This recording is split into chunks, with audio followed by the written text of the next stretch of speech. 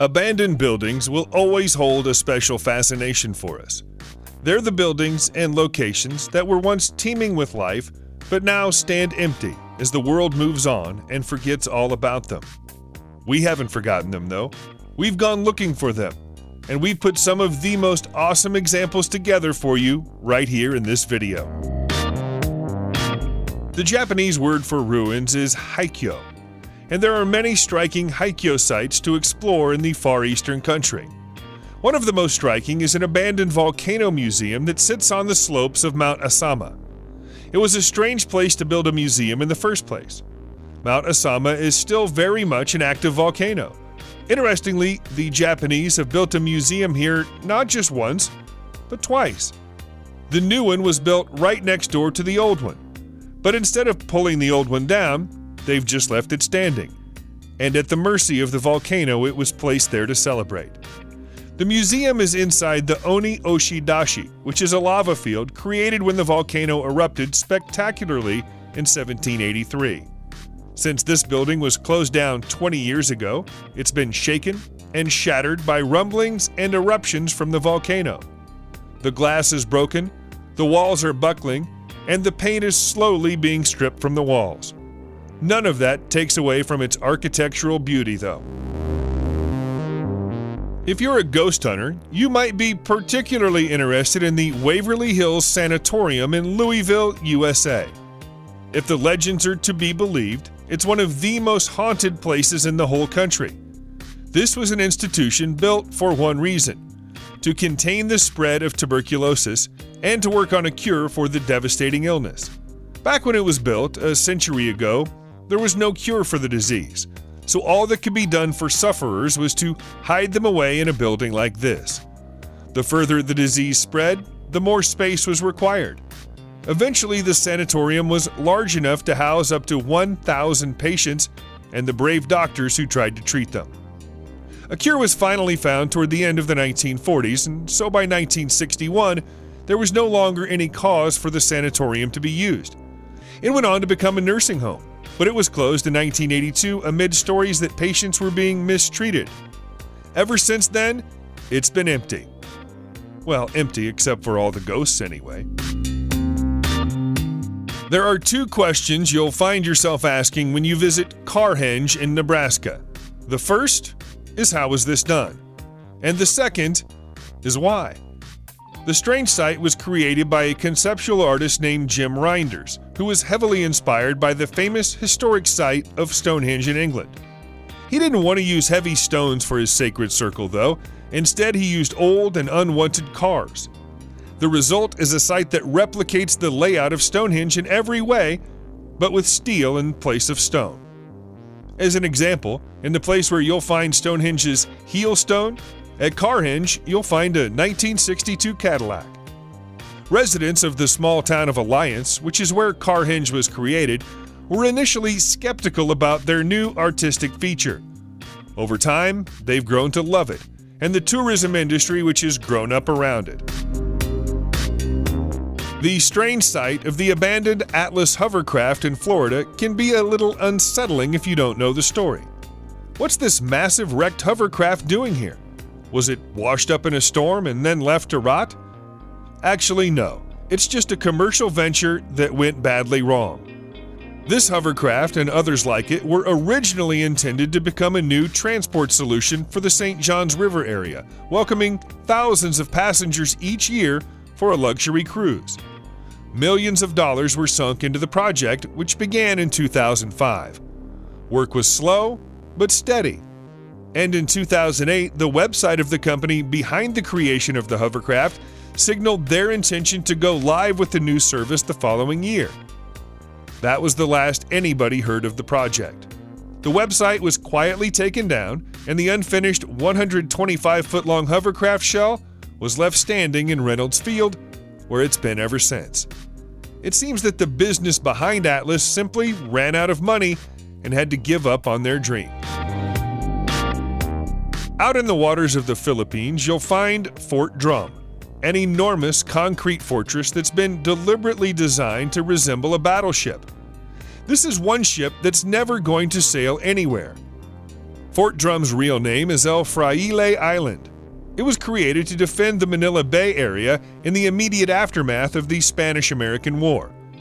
It started with one single rock, upon which concrete was lumped and shaped into the formation we see today. The idea was that distant ships would be put off approaching the area by the sight of what they would presume was a huge defensive vessel, and even if they got close, they'd be pounded by the artificial island's artillery. It's been abandoned since the end of the Second World War when it was covered in gasoline and then set on fire as the Japanese forces who captured it went into retreat, adopting a scorched earth policy as they left. Dreamer's Gate in Australia is one man's artistic vision, and it's not a vision the local planning authorities have ever agreed with. Every sculpture you see here was carved by the gifted hands of Tony Fantastis, who intended them to be a tribute to his father, who once owned the land where the installation is based in the tiny town of Collector.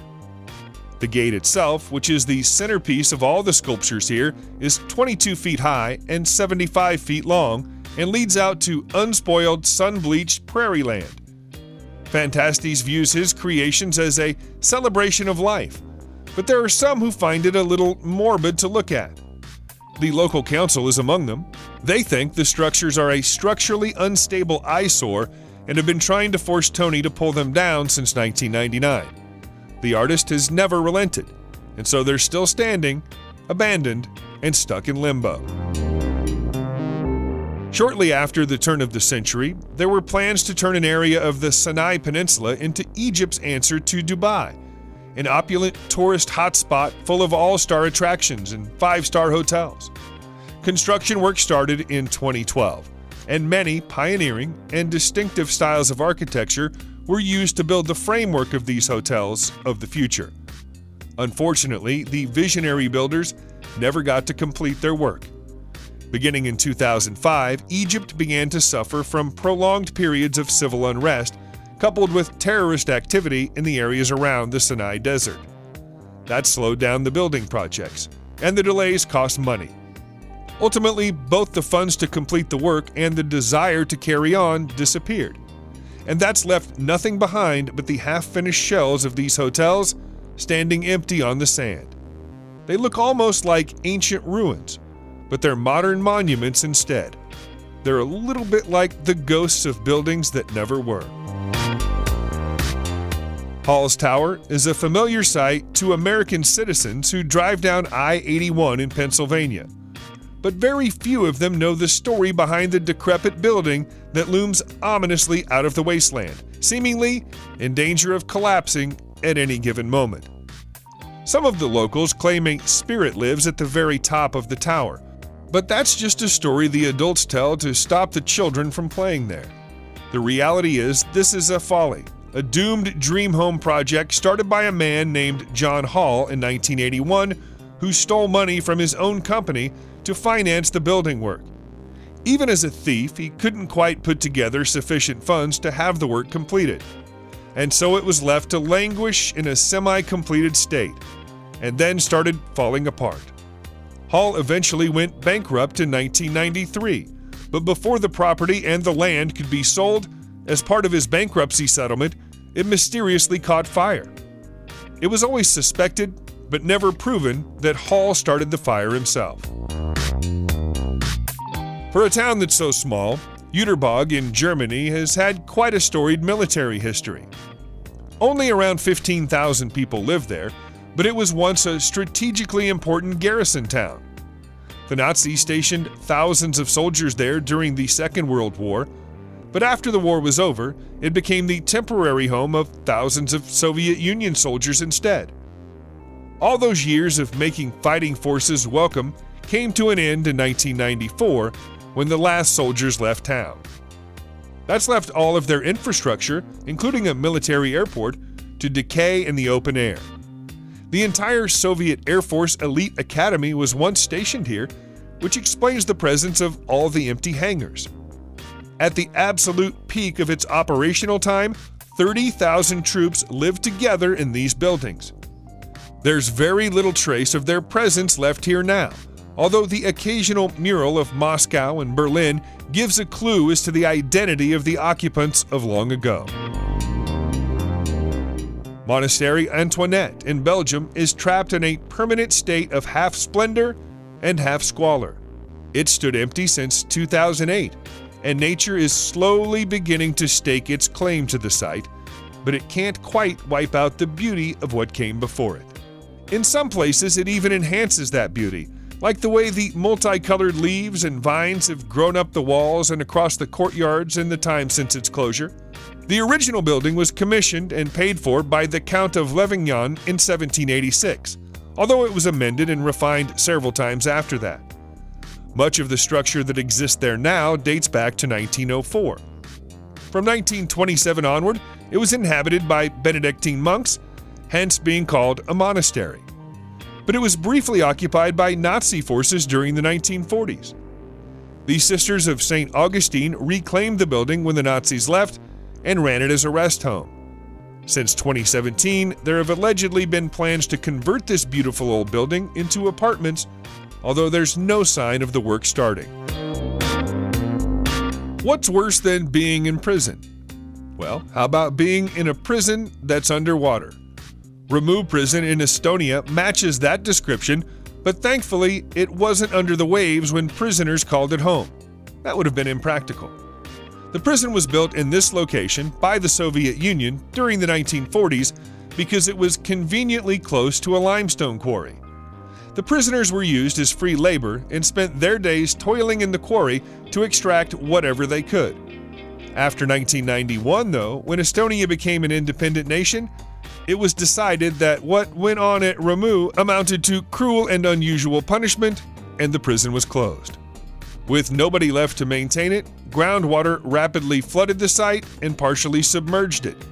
It's now a popular tourist spot for divers who have reported that some of the mining equipment that was used here is still in place below the waterline. You can even swim through some of the old cells if the mood strikes you. Of all of the places that can become abandoned, you hate to see it happen to amusement parks more than almost anything else. These are places where families should be coming together and having fun. Dadi Park was actually the first ever private amusement park in the whole of Belgium. But being the first didn't mean it got any special treatment, and its rides will never work again. It started out as a playground in 1950 for children of the local church school, but by the end of the decade had expanded to include fairground rides and welcomed tourists from all over the country. At its busiest, more than 1 million people came to visit it each year. Unfortunately, the money that came with the tourists wasn't spent on maintenance, and the park started to become badly run down in the late 1990s. A child was seriously injured on a ride in 2000, and two years later, the park was shut down for what was supposed to be a period of renovation. The renovations never began, and the park has never opened its doors since. Subscribe to the channel and turn on notifications, and you will be the first to know when a new video comes out. Thank you for watching, and see you in the next video.